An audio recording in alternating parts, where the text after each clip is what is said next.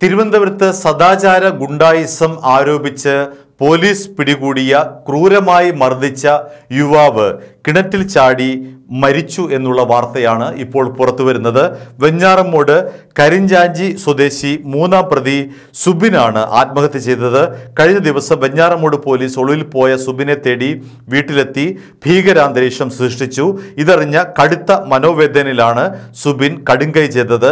May രണ്ട് രാത്രി വെഞ്ഞാറമ്മൂടിൽ സദാചാര ഗുണ്ടായിസം ആരോപിക്കുന്ന സംഭവത്തിൽ സുബിന് യാതൊരു പങ്കുമില്ലെന്ന് വീട്ടുകാർ പറയുന്നു. സംഭവം ഒത്തുതീർപ്പാക്കാൻ ചെന്ന സുബിനോട് പോലീസ് കയർക്കുകയും പ്രതി ചേർക്കുകയും ചെയ്തിരുന്നു എന്നാണ് ഇപ്പോൾ വീട്ടുകാർ പറയുന്നത്. മെയ് രണ്ടാം തീയതി രാത്രി എട്ട് മണിയോടെ ഗോകുലം മെഡിക്കൽ കോളേജിന് സമീപം വെച്ചാണ് സംഭവം ഉണ്ടാകുന്നത്. ആനാട് സ്വദേശികളായ ദമ്പതികൾ കീഴായി കോണത്ത് വാടക വീട്ടിൽ താമസിച്ചു വരികയാണ്. രാത്രി ഡ്യൂട്ടി കഴിഞ്ഞ് നഴ്സായ യുവതിയെ ഭർത്താവായ അർജുൻ കൂട്ടിക്കൊണ്ടു പോകാൻ എത്തിയിരുന്നു. ഇരുചക്ര വാഹനത്തിൽ പോകുന്നതിനിടയിൽ അവിടെ ഉണ്ടായിരുന്ന മൂന്ന് പേർ ചേർന്ന് വാഹനം തടഞ്ഞു. എന്നു മാത്രമല്ല സദാചാരം ആരോപിച്ചുകൊണ്ട് ഈ ദമ്പതികളെ അവർ ചോദ്യം ചെയ്യുകയും ചെയ്തു. തങ്ങൾ ഭാര്യ ഭർത്താക്കന്മാരാണെന്ന് ആവർത്തിച്ചു പറഞ്ഞിട്ടും ഇവർ കൂട്ടാക്കാതെ ചോദ്യം ചെയ്യൽ തുടർന്നുകൊണ്ടേയിരുന്നു. ഇത് എതിർത്ത ഭർത്താവിനെയും തടയാൻ ശ്രമിച്ച യുവതിയെയും ഈ കൂട്ടർ മർദ്ദിച്ചു. ഈ സമയം അവിടേക്ക് പോലീസ് പട്രോളിംഗ് വാഹനം എത്തുകയും സംഘത്തിൽപ്പെട്ട ഒരാളെ കസ്റ്റഡിയിലെടുക്കുകയും ചെയ്തു.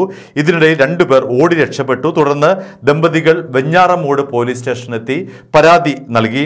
പ്രതികൾക്കൊപ്പം പ്രതികൾക്കെതിരെ ഇരുന്നൂറ്റി തൊണ്ണൂറ്റിനാല് ബി മുന്നൂറ്റി ഇരുപത്തി മൂന്ന് മുന്നൂറ്റി ഇരുപത്തി നാല് മുന്നൂറ്റി അൻപത്തി നാല് മുന്നൂറ്റി അൻപത്തി നാല് എ. എന്നീ വകുപ്പുകൾ ചുമത്തി പോലീസ് കേസ് രജിസ്റ്റർ ചെയ്തു. അറസ്റ്റ് ചെയ്ത രണ്ടാം പ്രതിയെ കോടതിയിൽ ഹാജരാക്കി റിമാൻഡ് ചെയ്തു. സംഭവത്തിന് ശേഷം ഉള്ളിൽ പോയ വെഞ്ഞാറമ്മൂട് കരിഞ്ചാത്തി സ്വദേശികളായ ഒന്നാം പ്രതി സുദിൻ മൂന്നാം പ്രതി സുബിൻ എന്നിവരെ കണ്ടെത്തുന്നതിനായി വെഞ്ഞാറമ്മൂട് പോലീസ് അന്വേഷണം നടത്തി. ദമ്പതികൾ ഉന്നയിച്ച വ്യാജ ആരോപണമെന്നാണ് നാട്ടുകാർ പറയുന്നത്. ബൈക്കുകൾ തമ്മിൽ കടന്നു പോകുമ്പോൾ ഉണ്ടായ ചെറിയ തർക്കം വലുതാവുകയായിരുന്നുവെന്നും അത് യുവതിയുടെ ഭർത്താവ് തന്ത്രപൂർവം സദാചാര ആക്രമണമായി ചിത്രീകരിക്കുകയായിരുന്നുവെന്നുമാണ് ഇപ്പോൾ ഉയരുന്ന ആരോപണം. സംഭവ സ്ഥലത്തെത്തിയ പോലീസ് കേട്ട പാതി കേൾക്കാത്ത പാതി നിരപരാധികൾക്കെതിരെ കേസെടുക്കുകയാണ് എന്നും പോലീസ് നാട്ടുകാർ പറയുന്നു. പാതിരാത്രി മൂന്ന് മണിയോടെയാണ് ഏഴോളം പോലീസുകാർ സുബിന്റെ വീട്ടിൽ വന്നത്. രാത്രി പതിനൊന്ന് നാൽപ്പത്തി അഞ്ചോടെ എത്തിയ പോലീസുകാർ സുബിന്റെ ഫോട്ടോ ആവശ്യപ്പെട്ടാണ് വീട്ടുകാരെ ആദ്യം മാനസികമായി പീഡിപ്പിച്ചത്.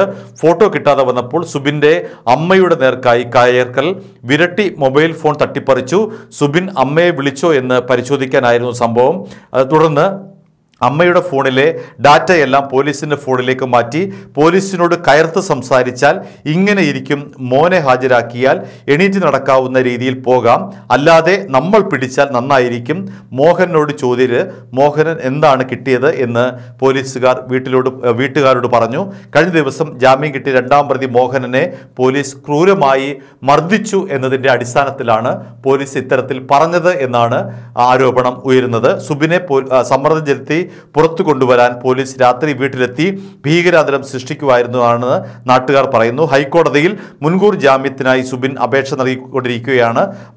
ആ സമയത്താണ് മാനസിക സമ്മർദ്ദം താങ്ങാൻ വയ്യാതെ ആത്മഹത്യ ചെയ്തത് സുബിൻ എന്നാണ് നാട്ടുകാർ പറയുന്നത്.